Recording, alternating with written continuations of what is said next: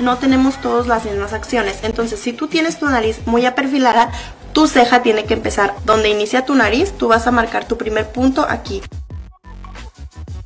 Y aquí es donde yo pongo mi primer punto, llamémosle punto A. El segundo punto o el punto B es el que nos va a ayudar a delimitar el arco o más bien donde va a ser lo alto de nuestra ceja. Tenemos que procurar que nuestra regla o esta línea pase por en medio, o sea, entre nuestro ojo, o sea, como que por la mitad de nuestro ojo. Volteamos derecho, va a ser aquí. El tercer punto o el punto C nos va a indicar dónde es el final de nuestra ceja. Lo vamos a marcar desde el inicio de nuestra nariz, pasando por el final de nuestro ojo y aquí tiene que ser donde nuestra ceja termine. Lo siguiente que vamos a marcar es una línea recta aquí, o lo más recta que sea esto. Ustedes va a ser opcional o como quien dice al gusto según lo altas que quieran las cejas. Por ejemplo, si la quieren hasta acá la línea, pues hasta acá se las van a sacar. Ahora es momento de utilizar nuestra regla y vamos a medir el ancho de lo que queremos nuestra ceja. Ahora, algo que vamos a hacer es que nos vamos a poner aquí la regla.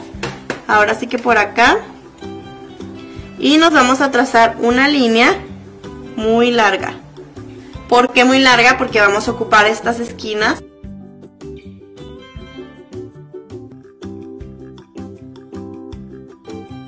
Aquí ya me delimitó el ancho de mi ceja, entonces nada más voy a marcar la línea desde este punto hacia este punto.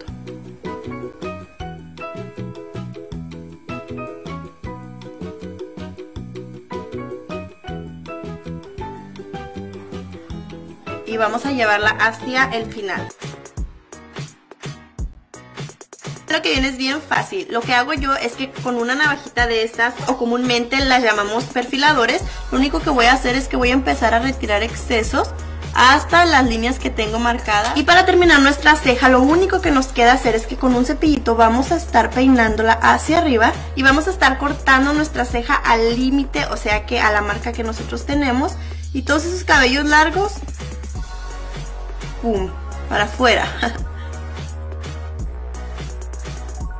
Todo lo que salga de esta línea lo vamos a tener que cortar. Yo sé que muchas personas no les gusta cortar su ceja, pero esto es un punto como que primordial porque eso hace que tu ceja se te vea más bonita y más limpia. Ahora, esta parte, en vez de peinarla hacia arriba, la vamos a estar peinando hacia abajo y todos los cabellitos que nos sobren los vamos a cortar. Acuérdense, hay que cortarlos al límite, o sea que a donde dejamos nuestra ceja. Ahorita van a ver qué padre se ve. Y ya lo único que queda es despintar para ver nuestro resultado final.